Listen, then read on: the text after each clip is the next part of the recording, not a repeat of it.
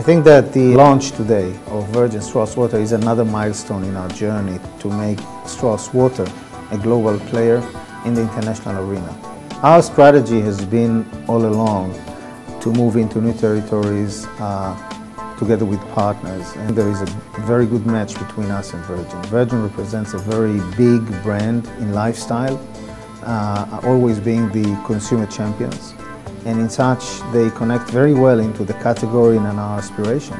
At the same time that we maintain our leading position in being the water experts.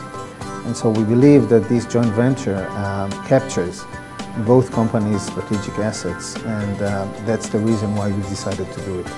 One of the main reasons for choosing the UK as a significant target market for us is the drinking habits of the UK people. Uh, mostly has to do with the amount of hot water which they consume because they are very big tea drinkers. In almost every UK house you would find a kettle. And the reason for that is that in the UK it's very common to boil water for hot drinks like tea mostly, but also instant coffee. Because once you want to have a great cup of tea, you also want to have really good tasting water.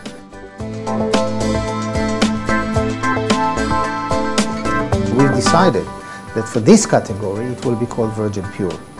So that's one brand. The second brand is Strauss Water, which we promote globally. And we've also included a sentence that will explain the link between Virgin Pure and Strauss Water, and that is improving life with Strauss Water. As we all know, Strauss Group is all about improving the life of people. And so the branding will look like Virgin Pure, improving life with Strauss Water.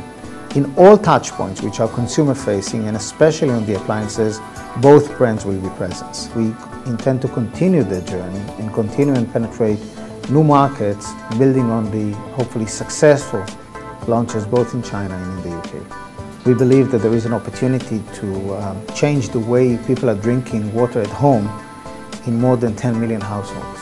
That's a very significant market and it's a very significant opportunity.